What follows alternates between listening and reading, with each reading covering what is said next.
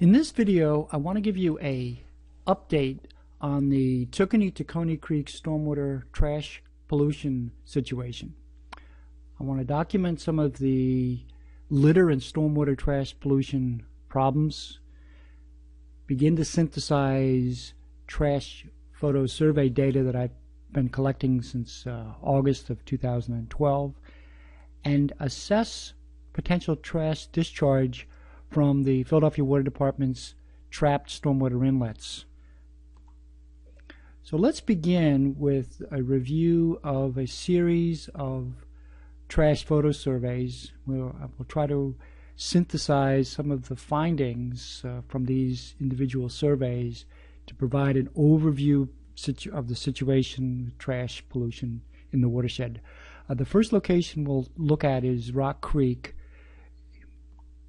now, Rock Creek is an area, a, a part of a tributary that drains parts of northwest Philadelphia and Cheltenham. And the Cheltenham part of it includes three large shopping centers the Cedarbrook Plaza, the Cheltenham Plaza, and the Cheltenham Mall.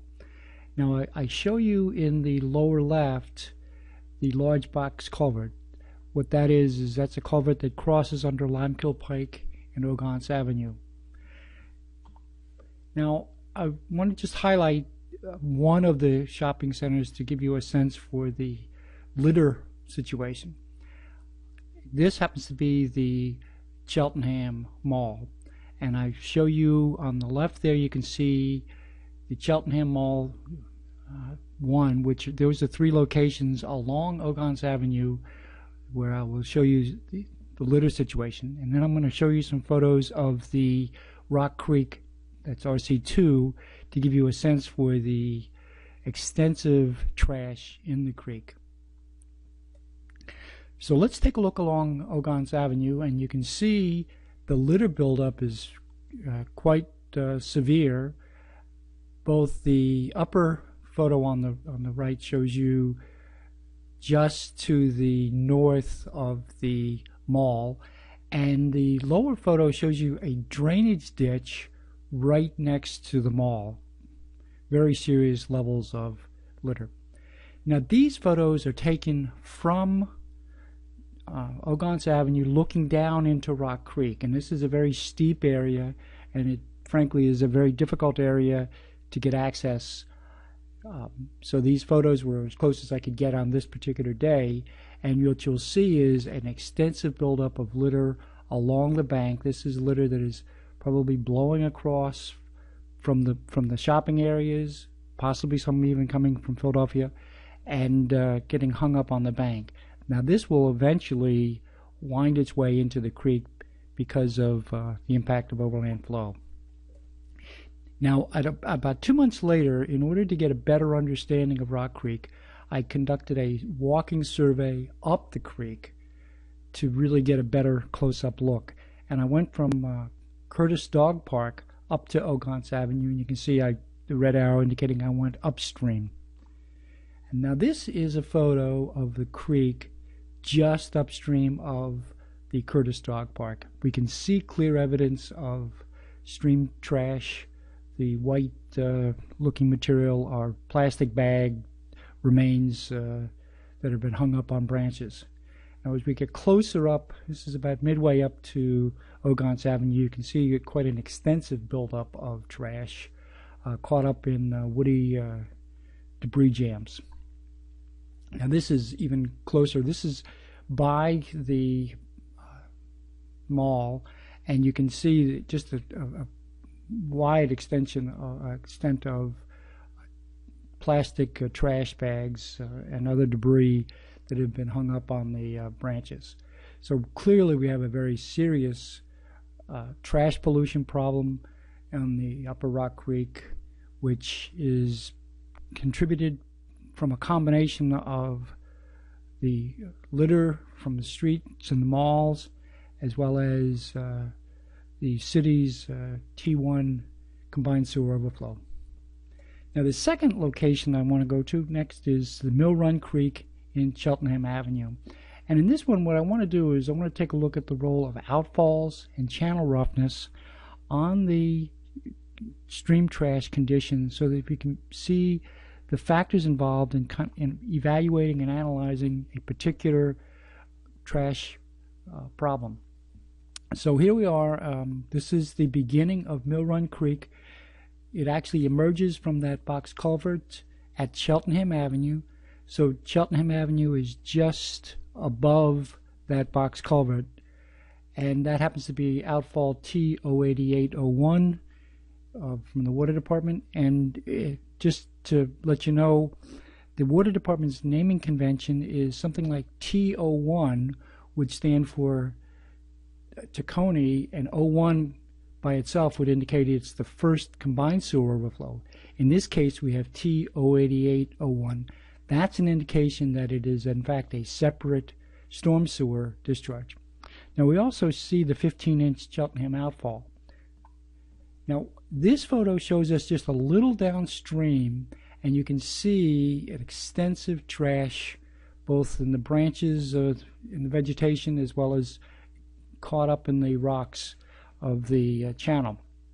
Now, the question becomes how much of this is from the water department's uh, outfall versus Cheltenham's outfall. In this particular case, there's essentially no overland flow. This is outfall related simply because of the drainage patterns in the area. So this next map shows you uh, something I think is important, which is a method for coding and classifying the extent of stream trash. It, I'm using in this case the Rapid Trash Assessment, the RTA scoring system developed by the California Water Boards. I think it becomes a useful way, and you can see the categories optimum, suboptimal, marginal, and poor, and those are what an observer will see on a first glance, an assessment of the trash conditions. So what I've done is I've used that technique to the sections of Mill Run, and I've subdivided the sections, you can see A, B, C, D, and E, and I've classified them according to the criteria from the RTA. Next, what I've done is I've shown you the locations of the outfalls. This happens to be on a ArcGIS Explorer uh, map, and uh, this uh, particular tool is uh, free avail freely available tools so it can be used by citizen scientists as well as uh, public agencies. And what I'm located on here is the survey limits as well as the outfalls. Now this particular photo, series of photos, um, what I'm trying to highlight is the differences in trash conditions. So if we look at section A, you can see that's just downstream of the Water Department and Cheltenham outfalls. It's not too bad from a trash standpoint.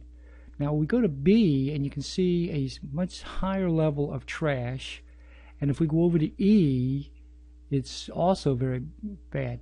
Now if you re recall, what I showed you was the middle section, section C, was classified as green. It's the suboptimal. And the question you have to ask yourself is, why would it go from marginal to poor to suboptimal and then back to poor. And what I want to stress here is that when you're looking at stream trash, you have to consider both the sources, in this case the outfalls, but also the channel conditions.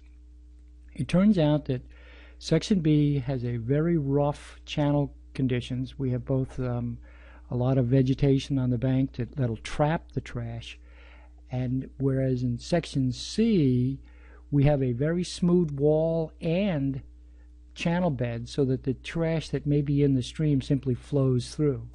So what happens here is that we get a, a load of trash from the Philadelphia and Cheltenham outfall in section A. It builds up quite extensively in section B. You don't see much of it in section C. However, there are additional outfalls in section C which make it worse in sections D and E.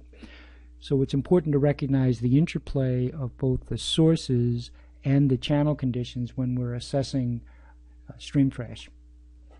Now the third one I'd like to talk about are the uh, two Philadelphia Water Department uh, separate storm sewer outfalls to get a sense for what may be happening at uh, separate storm sewer outfalls. here I'm showing you a section of the Tookany Creek just upstream of Philadelphia. And what we have, uh, there's actually, there are four Philadelphia Water Department uh, outfalls along the Tookany Creek in this area. I've highlighted two where I was able to, to conduct a survey, T08003 and T8002, and I'm going to show you downstream photos. This is T8002, and what this clearly indicates is two uh, very serious problems. We have both a sewage uh, discharge that's clearly evident in the discolored uh, water, and we also have pretty strong evidence of uh, trash, in this case, uh, plastic bags, particularly uh, caught up in the uh, woody debris. Now at TO3, we have a very similar situation. We don't have the evidence of sewage, but we have clear evidence of plastic bag buildup in the woody debris.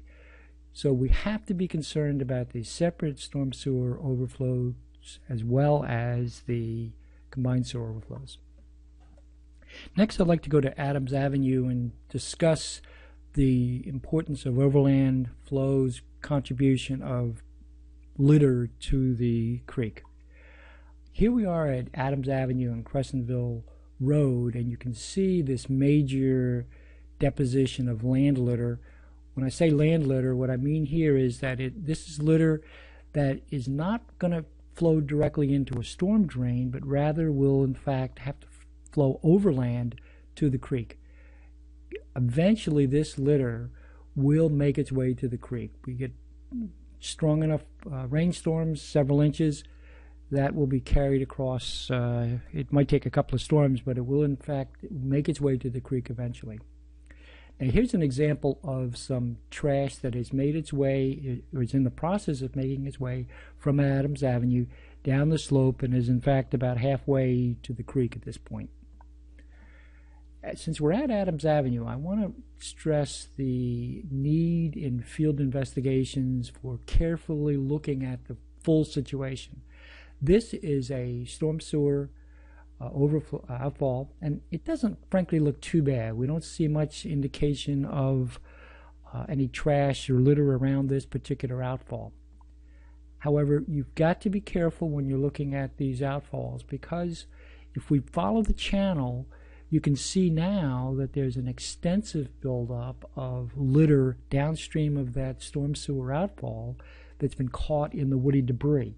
Again, the conditions of the channel were such that it not much got caught up out, right outside of the outfall, but further down, we saw significant evidence, we see significant evidence of uh, trash coming out of that outfall.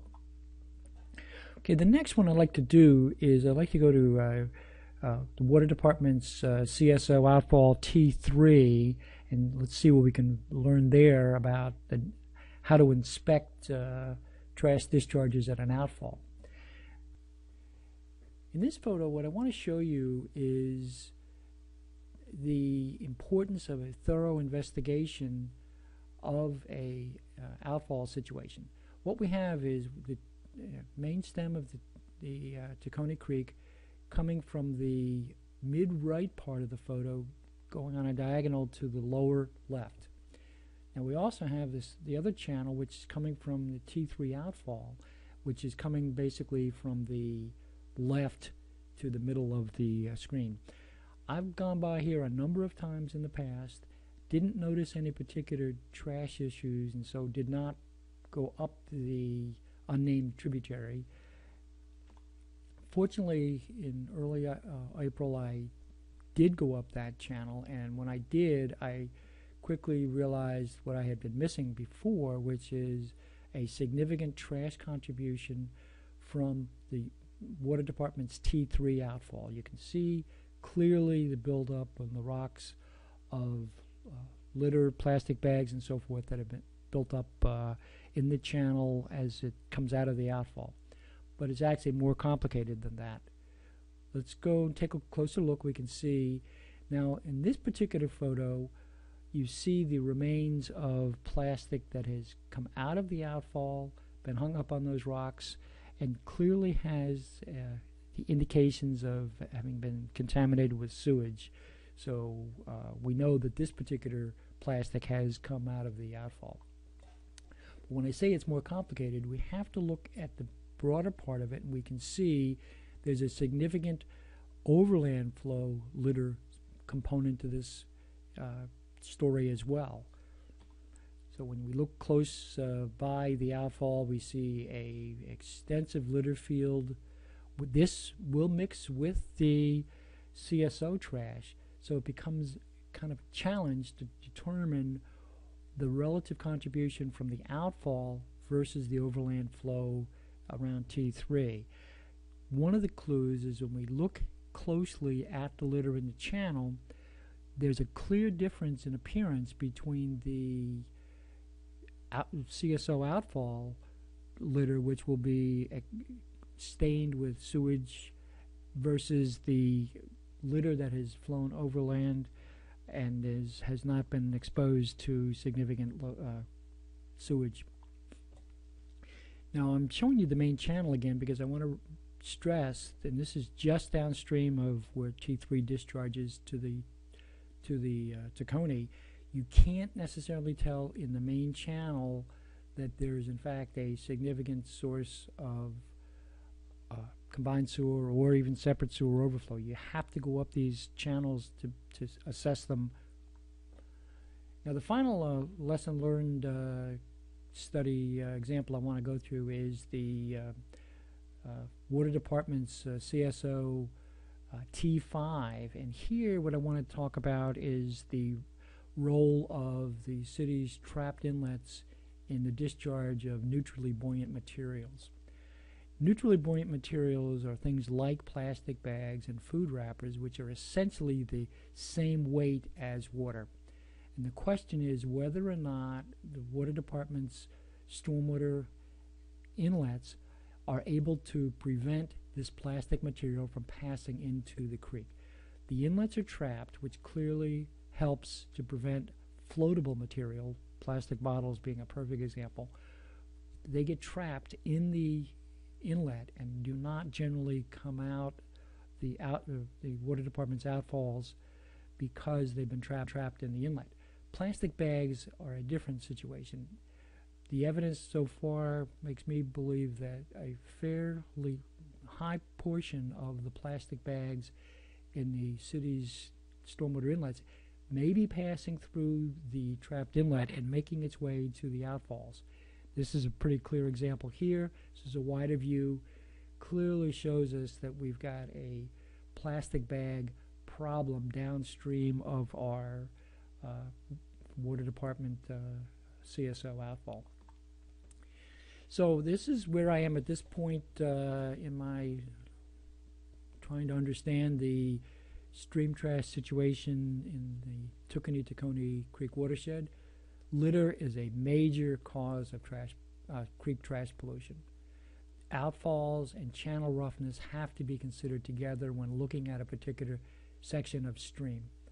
Separate storm sewer outfalls can clearly cause trash discharges. Overland flow is a serious part of the problem that has to be addressed. We need close inspection of outfalls to assess their discharge. And at this point, uh, it clearly appears that the water department's trapped inlets can let neutrally buoyant materials escape to the outfalls.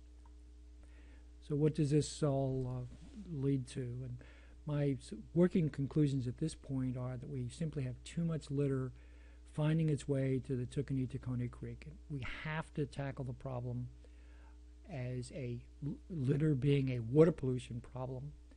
Plastic bags are a major problem in our creek trash pollution in the Tookany Tacony, and the current levels of litter and tr- creek trash control for the Tookoonee and Tacony Creek are, creek are simply not adequate and need to be improved. Thank you. I hope that uh, this has been informative and you look forward to future reports. Thank you.